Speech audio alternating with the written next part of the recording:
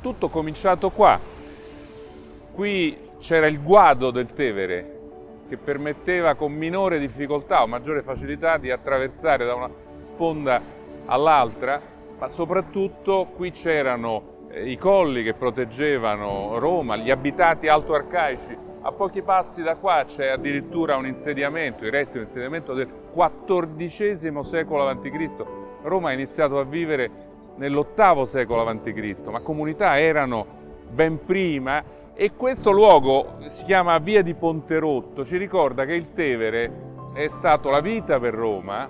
ha permesso eh, che arrivassero tutti i traffici commerciali, il cibo, eh, c'era la possibilità di difendersi, ma anche si era abbastanza lontani dal mare per non essere assaliti come le città costiere, quindi la scelta di far nascere qui Roma, ovviamente eh, il Campidoglio, ovviamente il momento fondativo, storico sul Palatino, eh, ci viene ricordato anche da edifici come questo, la Casa dei Crescenzi,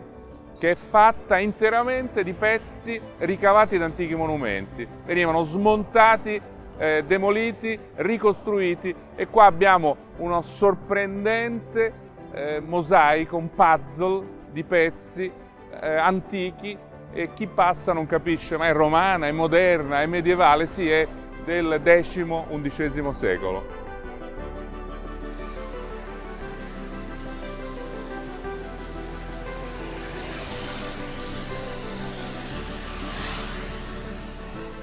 Lasciamo il traffico del Lungotevere e andiamo ad ascoltare il silenzio dalle banchine lungo il fiume e andiamo a scoprire l'isola Tiberina.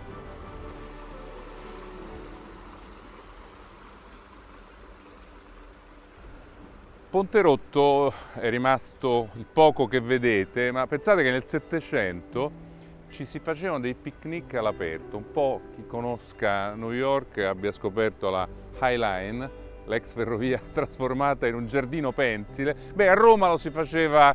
più di due secoli prima ed era un modo per scoprire eh, la bellezza del fiume e di fare di necessità virtù. Il ponte era crollato e tuttavia ci si poteva incontrare e avere un momento di socialità ed ecco che suonano anche le campane all'isola Tiberina, eh, San Bartolomeo e la bellezza di questo incredibile, incredibile spazio nel cuore della città in questo momento è mezzogiorno, avete sentito anche forse il botto del cannone del Gianicolo. Dopo più di due anni di pandemia, in un periodo terribile come quello che viviamo con la guerra, l'angoscia eh, ci ha oppressi. Riscoprire la gioia di camminare può permetterci di scoprire anche qualcosa che vediamo ogni giorno ma non guardiamo davvero e per chi non è romano scoprire qualcosa di sensazionale come la grandezza, la complessità, la ricchezza, le sorprese che riserva Roma, certo a partire da questo luogo incredibile, l'isola in mezzo al Tevere. Vogliamo